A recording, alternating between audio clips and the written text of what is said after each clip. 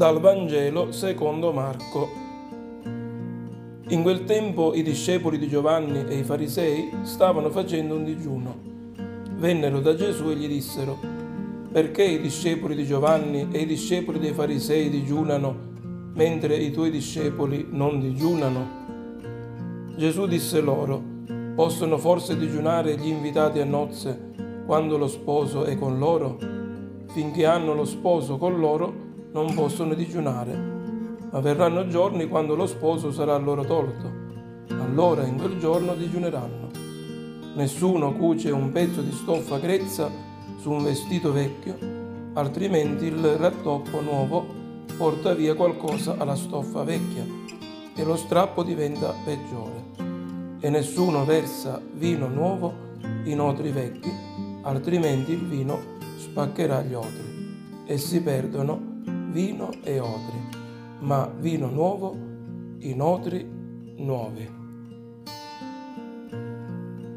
Nel Vangelo di oggi, preso da Marco al capitolo secondo, dal versetto 18 e seguenti, leggiamo Gesù disse loro, possono forse digiunare gli invitati a nozze quando lo sposo è con loro?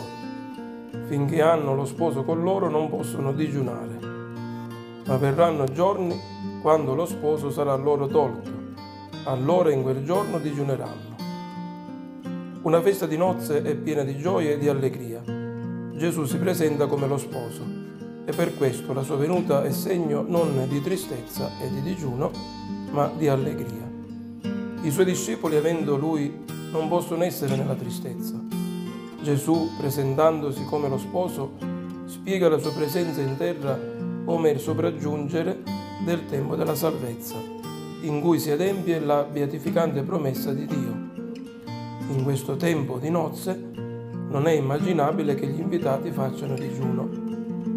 I giusti digiunano perché ignorano l'amore gratuito di Dio, che mangia con i peccatori e non con i meritevoli. Tutti intenti a meritare l'amore di Dio con le loro opere non si accorgono che l'amore meritato non è né gratuito né amore. Se ne escludono proprio con il loro sforzo per conquistarlo. In Gesù si celebrano le nozze di Dio con l'umanità. Lui si è unito a noi per unirci a sé. Si è fatto come noi per farci come Lui. Dio si è fatto uomo perché l'uomo diventasse Dio, ci ricorda Sant'Ireneo. La presenza sulla terra del Dio fatto carne è segno di festa. La certezza di vivere in sua compagnia dona una gioia incompatibile con il digiuno.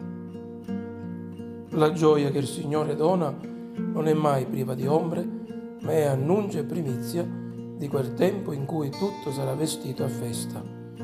Prevalga in noi la gioia delle nozze, la gioia di essere stati redenti da uno sposo che dà tutta la sua vita per la sua Chiesa sposa.